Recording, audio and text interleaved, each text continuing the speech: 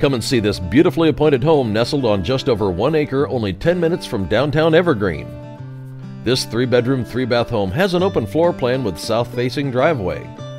It offers a fabulous living room with massive fireplace and gourmet kitchen with associated wet bar prep area.